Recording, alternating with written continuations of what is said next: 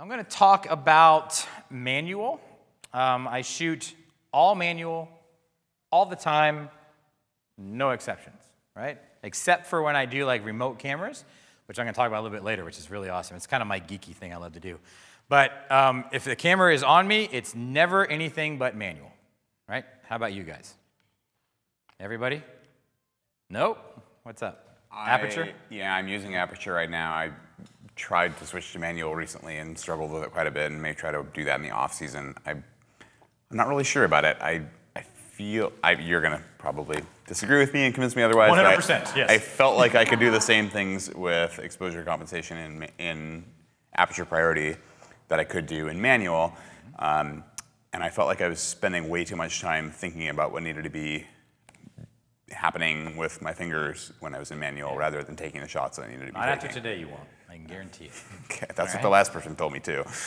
I got, I got, I, I literally teach moms with cameras who don't even know what shutter and, and aperture means. I sh- teach them how to shoot manual with their cameras, and it changes everything, right? So you should be all right. Um, the reason I don't want anything, I don't want that camera making any decisions for me whatsoever, right? Like none. Like cameras are not smart.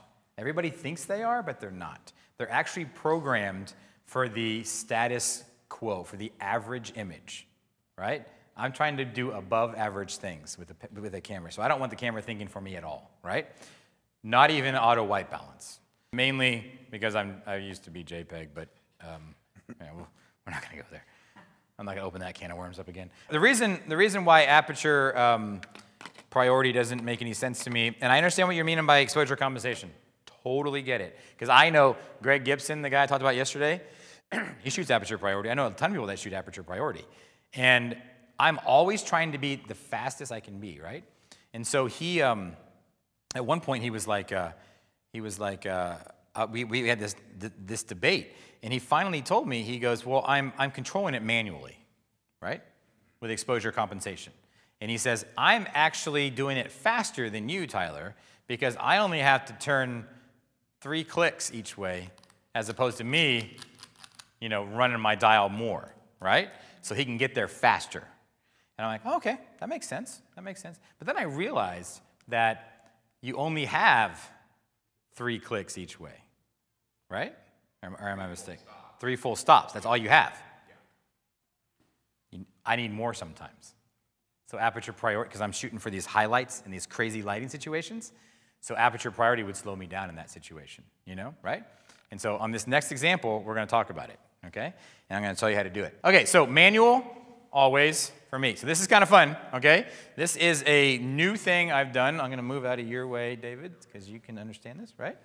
You look like a deer in headlights right now. So in the end, if you disagree with me, it's completely fine, right? but I shouldn't say guarantee. I shouldn't guarantee anything. But um, so this is a this is an example I want to show you of of how I shoot manual and why it works. So the way I shoot manual is I'm going to go through it really quickly, okay? But I think it's going to make sense. So I'm going to ask you guys a question.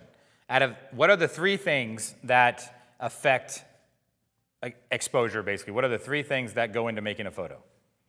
From our camera, Yes. ISO, aperture, and shutter speed. ISO, aperture, and shutter speed, right? Okay. Which one of those three is the hardest one to change? Takes the most amount of button pushing to change? ISO. ISO, right? Okay?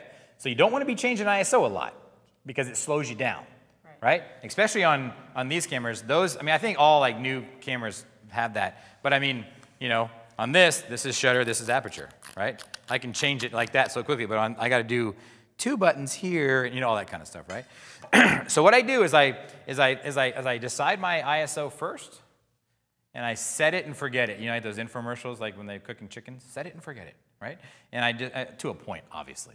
I set my ISO for the scene, okay? Um, whatever that's gonna be. I put my ISO as high as I possibly can all the time. Because the reason I bought the 5D Mark III is because I, I have motion blur more than autofocus issues. I have motion blur issues in my images. I cannot handhold a digital camera like I used to a film camera. I could handhold a film camera at 10th of a second, 15th of a second, easy. And now it's like I get motion blur at 250th of a second sometimes, which is ridiculous. It drives me nuts. So I bought this, A, for the ISO performance, because it has great high ISO, but I also bought it because it's going to allow me to get my shutter speed higher, right? Okay? So I set ISO usually like for as high as I can get it and feel comfortable with it. Then I, um, th then I set the aperture, okay? And the reason, this is one reason I don't like aperture priority, because aperture priority is then, in theory, choosing my shutter speed for me. And so that, I don't want that to go too low, and then I end up getting motion blur, right? But I set my aperture next, and because usually, think about how many things you want. Like ISO, you only have a certain amount that you can actually use, right? 400 or 200 up to like 3200 maybe, right? Aperture, you only have like a few apertures that you can really use, right? We don't want to run around shooting at 5.6 or, or f8 all the time because we have too much depth of field and it looks like an iPhone picture, right? And so, you know, I'm usually around like f2 to like f4 max. That's not very many options, right? But shutter speed, I have tons of options, don't I? I have 30 seconds all the way up to 8 thousandth of a second, right? So all I'm doing is I'm setting my ISO and I'm setting my aperture and I'm just adjusting my shutter speed all day long to match the lighting conditions that are there. Does that make sense? So all I have to worry about is that dial. Right? Okay? And so what I'm doing now is, is I literally have broken this down in my head to, on Canon, left is light, right is dark. Nikon, right is light, left is dark. Okay? That's it. Like, that's how stupid I am to myself. And all I do is I see light and I go, oh, that's light. Go to the right. That's dark. Go to the left. And, I, and then I look at the back of the camera and I make sure I'm in the right place and I keep going. So left is light, right is dark. Left is light, right is dark, right? And you, but you always have to remember where you're at on the numbers, of course. You don't be like, left is dark. You just, I got to get more you know, or let this light, I got to get more light in, and then you're like, oh, I'm one second exposure. That's not to work, right? You got to pay attention to where your numbers are. But when you're when you've already set yourself up for the scene and you're in those right places, then that's all you're doing. You're all all you're thinking to yourself is you're just watching the light and you're just adjusting for it as it happens, right? And I'm the reason I waited today to tell you guys all this stuff is when you see the video, I want you to watch how I do all that kind of stuff, and you'll see and you'll hear me running the running the dials. Okay right? Yes. They're usually using a spot metering? No, evaluative. Okay. Like the one with the, you know, the, mm-hmm. yeah. I think spot, I think spot is too, it's too, it's too precise, right? And so what, mm-hmm. what can mm-hmm. happen is, is that, is that you can f- expose for something and then if you're just off a little bit, it, it, can really change what's going on, you know? Right. Are you watching the camera meter at the bottom of the screen? Oh, or? God, yeah, constantly. Wait, yeah, you said yes? Yes. Okay, okay. Yeah. So what I do is I, is I, is I, I set what I, I set where I want the, I, I want the effect of the image to be, meaning the depth of field. You know, depth of field for people out there that might be new at this and don't know. Depth of field is how much is in focus, right, from here to there. You know, um, like on this picture, they're in focus, but the stuff right, but the seat right behind them is out of focus. If you use a higher aperture, then more things would be in focus, right?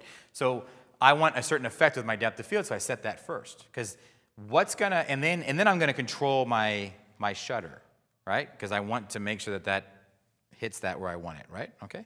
So I set that first, and then I adjust my shutter speed to the light that's there. And the reason I want to be in, in control of shutter speed is because what's going to hurt your picture more? Depth of field or motion blur? Motion blur. Every single time. It's going to kill it. I cannot even hardly decipher between like 2.8 and f4 on a, on a, on a thing. I'm like, well, if you look at the distance between here to there, it's about, you know, I'm not that scientific, right? But motion blur, I'm like, yep, that was motion blur. I just got screwed, you know? So, and, and, and, you're going to see this in this next, in this next thing. So I'm going to talk, I'm going to go through this, right? So here's a wedding I shot where they were, and this is all shot on JPEGs, I had to be on top of things. They were uh, leaving their, their ceremony and coming down the aisle, right? And so here they are. So this is at 729, 40 p.m., in 40 seconds. ISO 1600 f2.2 at 80th of a second. 80th of a second was dangerous. I don't know why I was there, to be quite frank with you. Um, but so I shot a picture and it's really not great, but I'm backpedaling with them, right? So then, 41, see how da- I went to 60th. You see what happened? I changed it to 60th in less than a second. I don't know why. It's ridiculous. And I blew the, I, I blew the picture, right? See how blurry it is? Right? So then I'm, I'm, I'm still backpedaling with them, and I'm still stuck at my same ISO and my same aperture. And then I went back up to 80th, so I must have bumped it, because that's ridiculous. Like, why would I do that? Still blew the picture. See the motion blur? Right? And, now, and probably at this point, I'm like freaking out, you know? I'm like, God, I'm missing it, I'm missing it, I'm missing it. Um, but I just kept shooting, and I kept just adjusting, and I'm hoping that I'm gonna get lucky. And then, right here, 1600, f2.2. Oh, I got back up to 160th, so I got, I got smart, right? I'm like, you idiot. And I fixed myself, right? I, I saved myself, and that's only been nine seconds, right? Okay?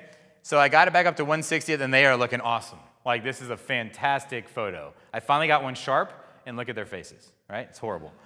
And then, and then they just keep walking. Okay, that one's okay.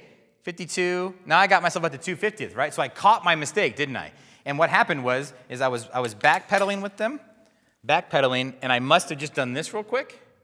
And I'm like, oh God, and then I fixed it, right? See, I went, I went to the, I went, I just did, I didn't even think about that. It was too blurry. I need a higher shutter speed to the right. See that? To the left, to the right, right? To the left. Anyway, um, okay, so, so I hit the 250th, right? Well, then something amazing happened. Really? What are you laughing at?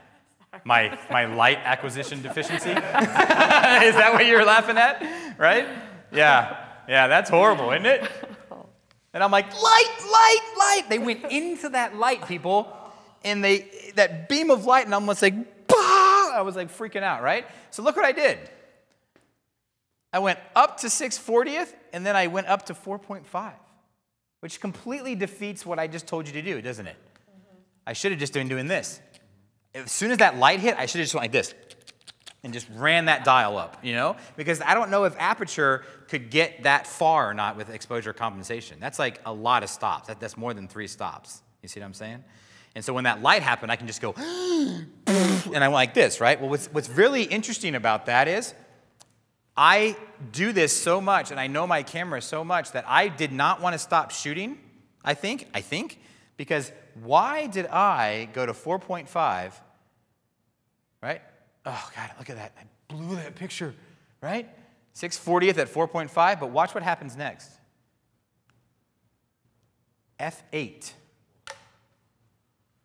How, why did I do that? Like, you know, but so look, 730.06, 730.05. So less than a second later, right? So what I did was I think it was because I didn't want to stop shooting the moment, but I didn't know where my exposure was. I didn't have time to look at the back of the camera, so I'm literally just like frantically spinning dials to see if I can get the exposure where I want it. And my mind just said, it knows better, and it's, it's muscle memory. It said, dude, you've got another dial that is not being occupied by your shutter button, and I, I must have gone like that, and I got the frame, right? And there's the final, right? And I love that photo. Like, that's an amazing picture. And, like, now, the argument would be had you been shooting raw, you could have brought that back, right? And I know that. I get it. I understand it. You know, but I'm just telling you that there are times though that raw won't, won't bring something back like that. You know what I mean?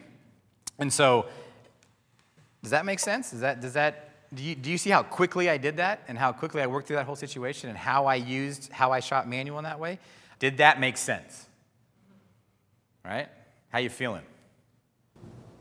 Intrigued. That's, that's close enough. That's all I can ask for. that's, all, that's all I can ask for, right? Yeah. And I just wonder. I, don't, I haven't tested it. I haven't honestly. I haven't done enough aperture priority to know. But like I was doing, I was trying aperture priority, and it was just tripping me up like tremendously. And I didn't feel that I could get the exposure compensation ext- extreme enough for the type of light that I'm looking for. Right. right? Like that is what I dream of. Like I dream of light like that. And it's like, but it's so bright. And, and where my exposure was for the inside of that place, and I can't believe they walked into that light. I mean, what in the, I mean, can you imagine? Like, look at this. That shadow is kind of weird, but it's actually really nice, you know? And it just right past, it's so fantastic. Anyway, so I don't know, would aperture priority get there? I think it would. I don't have. I don't feel like I have problems with images like that. Like if I was at four or five, it instantly would have taken me to a 25 hundredth of a second or something like that. And then if I needed to drop it down a little bit, And which I technically, an aperture priority, if you didn't exposure compensate, which I would, I would you you, well, you would have to. I would come down, like, one or two stops, You would have yeah. to because if, if you're an aperture priority and you weren't exposure compensating on the camera manually, it would have balanced this exposure and it wouldn't have it, it wouldn't have exposed for that. Probably, it would have tried to balance it. it wouldn't have. This would not be the end result. You're right. There Yeah. would be a little bit more in the shadows, but And I know RAW can save all that kind of stuff, Right. but you know, I'm kind of a purist. I kind of think that it should be all done in camera. Yeah, Personally. yeah. Not to say that RAW hasn't saved me the last couple of months on a couple photos, you know, but, but yeah, yeah, yeah. All right. Any questions on that kind of stuff, right? Are we, are we good? I think we're in pretty good shape. Um, folks almost wanted you to maybe to go over it again. Yep.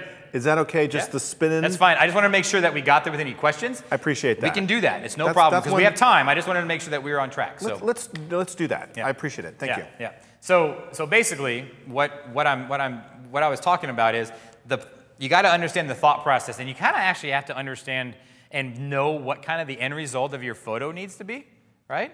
So it's all up to you in a way. It's not just what's making a good exposure, but it's also what you're trying to say with your photo, right? So sometimes you might want a motion blurred picture of somebody running or something like that. It gives it energy or something like that, right?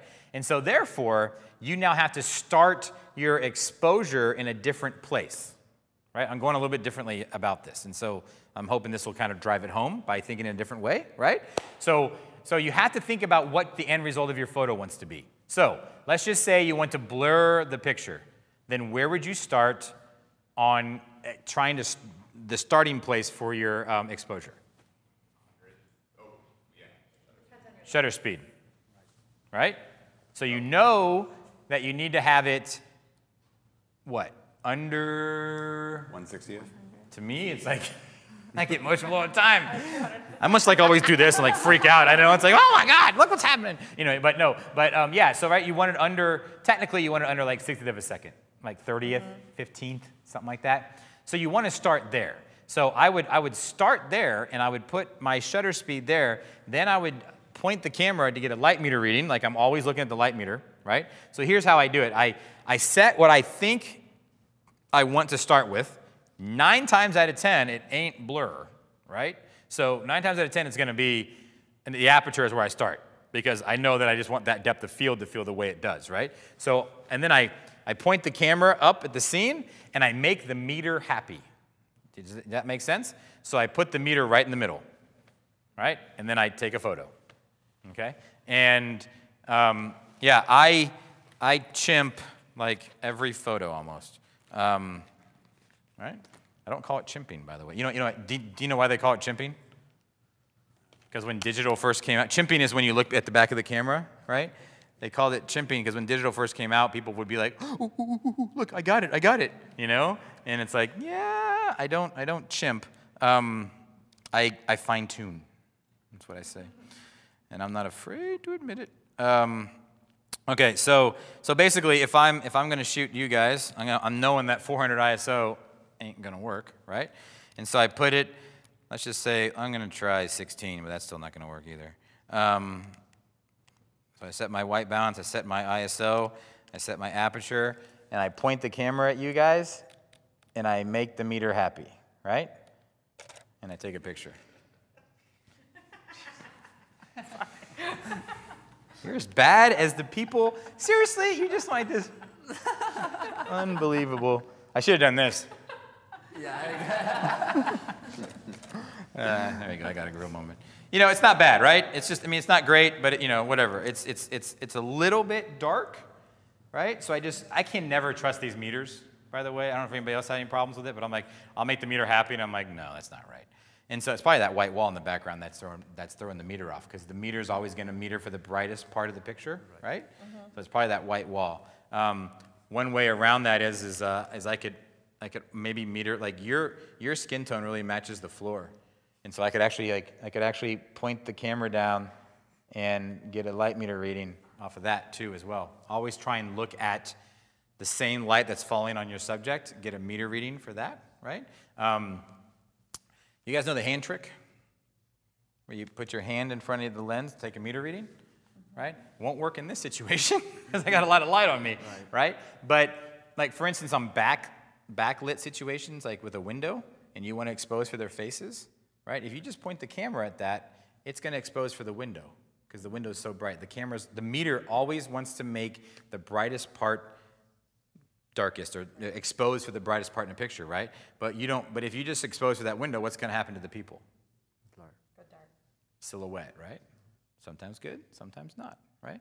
So if you actually, you can actually like, so if I'm standing here, you're there, that window's open, and you're gonna cheese for me like you just did. Probably I better not. Anyway, um, I would, I would, if minus these lights weren't on me, and I was in the same light as you, I would put my hand in front of my lens like this and fill up, fill up the frame because the light hitting the backside of my hand is about the same light that's hitting the backside of your face, right? One thing I could do if I wasn't on hot lava is I could walk over there and put, get right up in your face, take a meter reading, and then back off, right?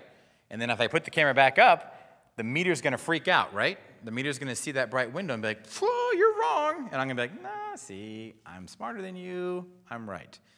But if I don't have time to do that, I can just do this real quick and get a, get a meter reading off the back of my hand, and then I can get really, really close and then fine tune it. See, does that make sense?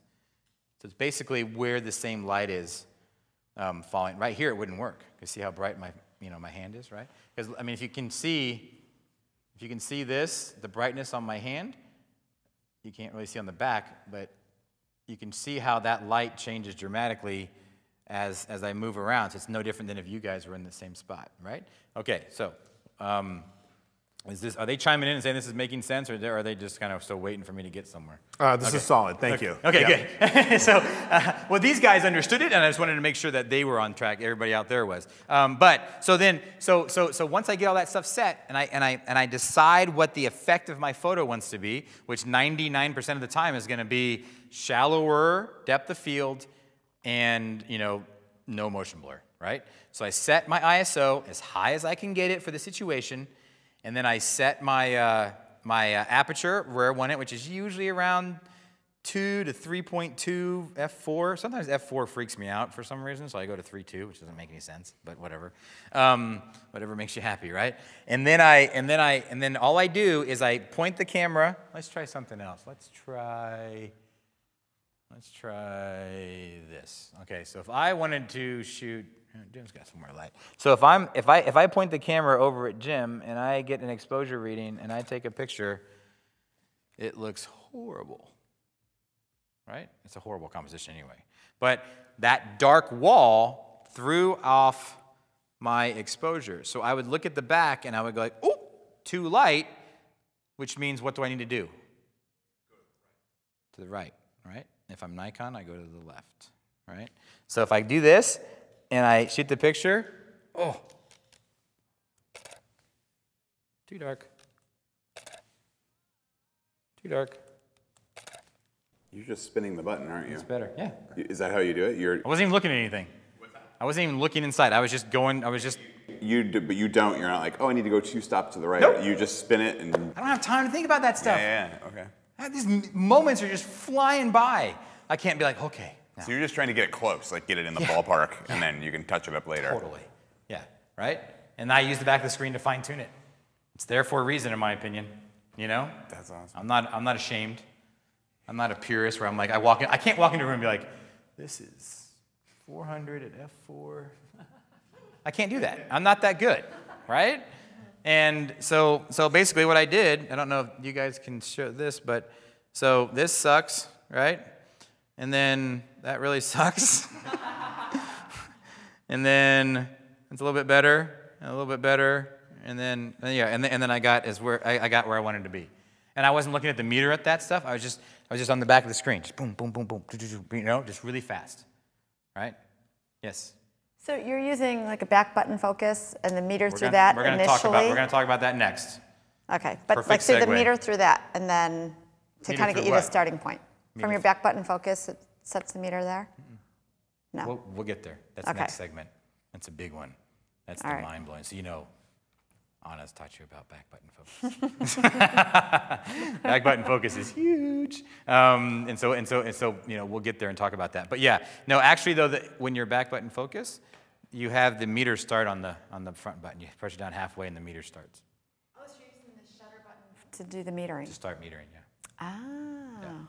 Is it different than when the meter is triggered from the back button focus? I don't know. I have no idea. It might be. The thing is, is that I want so every everything on this camera needs to have its own purpose, right? Mm-hmm.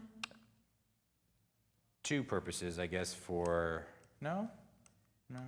This finger is for shooting, and for shutter, right? This finger is for focus, and for aperture. That's it, right? So right? So we don't ever want to have to hold anything down. We're gonna. I can't get ahead of myself. Back button focus is literally next, and it's Okay. gonna be big, and it's gonna take a lot of people understanding it. Does everybody under, know back button focus here? Man, I thought I was new to the game. There's some. Uh, there's got to be some people out there that don't know about it. So anyway, but uh, but I'm gonna explain how I use it, and that's really important too. You know. So yeah. So so so the meter. Um, you just try and make the meter happy and, and then try and get as close as you can and then I, and that's the bottom line then i use the back of the screen to fine tune it right? And so i'm not thinking about numbers. I'm not a math guy. I couldn't even do 24 times 1.6 right? You know so i'm not i'm not a math guy. And so i don't want to think about numbers. I don't i just want to know that like my depth of field which is my aperture needs to be where i want it and then i just need to listen to my shutter. So if i if i'm shooting something and all of a sudden this happens. Whoa!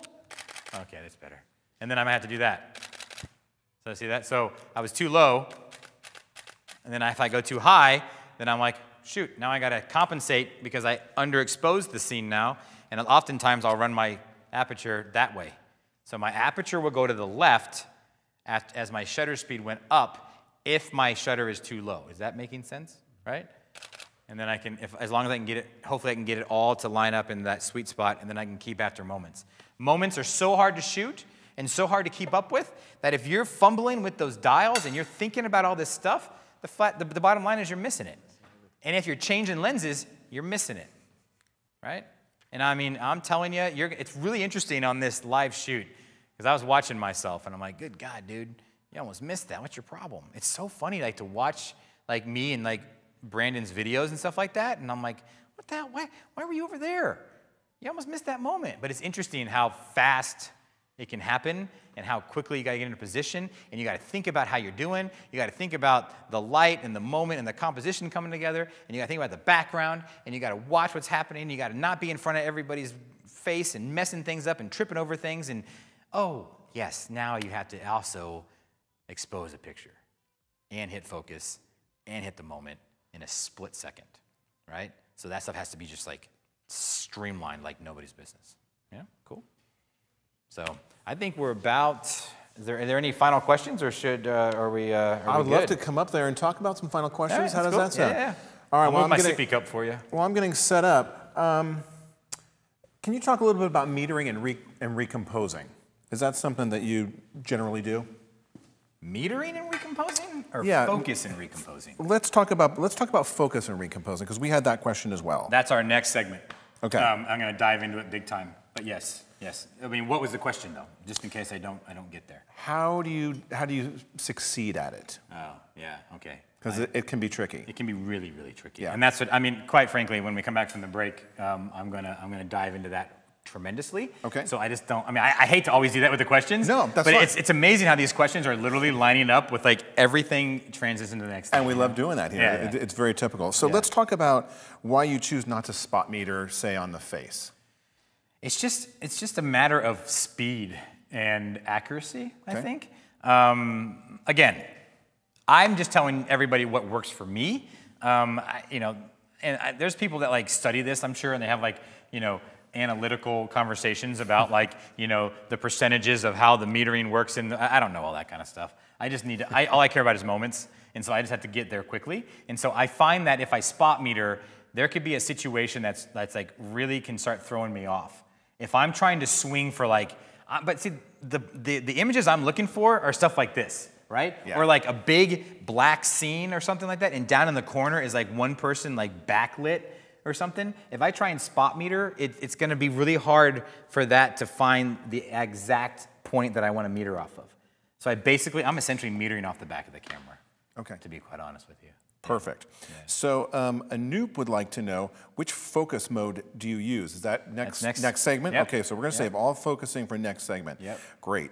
And then, um, you know, let's see. Um, I think we're I think we're in great Cool. shape Great, here. great. I just wanna make sure that, like, you know, there's yeah because it was a, it's to de- up. definitely keeping that light is a little tricky. People are of course questioning the JPEG, but now you're doing a little Nah, bit. you know, you're, I- you're a little, in a little bit more into RAW now, and you kind of go back and forth. I But don't know if I, I mean I am. I, I I'm, I'm a part of a uh, of, of, of, a, of a group of guys that Ben Crispin and some other guys, you know, and they, they just give me crap like daily about it, you know, and and I just haven't felt the need yet. Yeah. You know, like uh, and and I understand why the people are like you have more range and you can do all this whatever, you know, and I'm just like I just the bottom line is my clients don't give two whatevers if I shoot raw or JPEG. They don't know Yeah. you know and so i'm kind of like if, is it worth all the extra i'm not sure if it's worth all the extra work Right. like tons of hard drive space it takes me four hours to download cards now and you know i, I Yeah, just, I, don't. I don't know if it's worth it or not i'm, I'm still feeling it out Yeah, cool. you know All so, right. so yeah